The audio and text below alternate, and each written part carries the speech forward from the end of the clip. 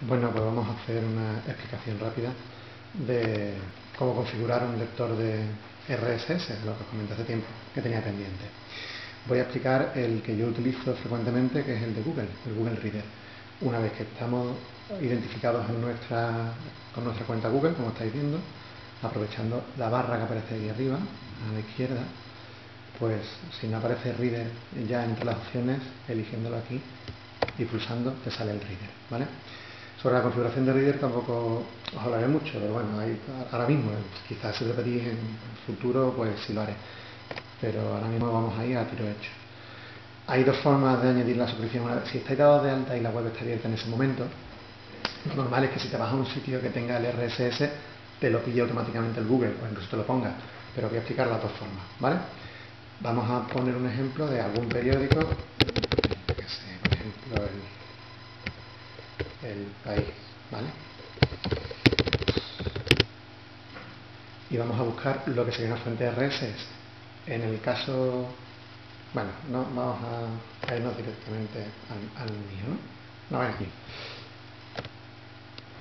Imaginemos, normalmente suelen venir al final,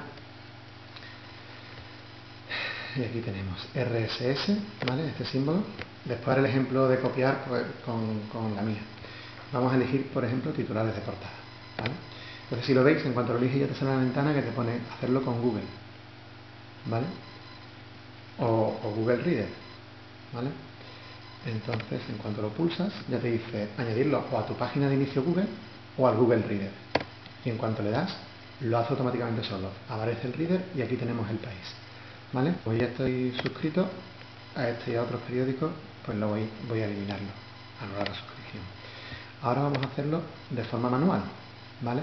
Nos vamos al, blog mío y como veis aquí están RSS de las entradas, que es de lo que yo escribo, y RSS de los comentarios, que es de lo que ya hacemos nosotros luego. Bueno, pues si veis aquí, una vez cuando pongo el ratón encima, aquí abajo en la barra, fijaros que aparece una dirección. ¿vale? Si le doy con el derecho y copio la dirección de enlace, y luego me voy al Google Reader y le pongo añadir suscripción, y pego lo que copié de antes y lo añado, con eso me vale. Me vale, perdón. ¿Y veis? Ya tenéis aquí la versión de lo que sería el, Google Reader. Para no, voy a anular la suscripción para no inflar mis estadísticas. y, bueno, ahora esto es, la configuración de Google Reader es bastante intuitiva y tampoco quiero eh, que sea este vídeo muy largo. ¿vale? En todo caso, si lo necesitáis, pues contactáis conmigo y cuelgo más vídeos. Muy bien, pues nada. Un saludo y hasta la próxima.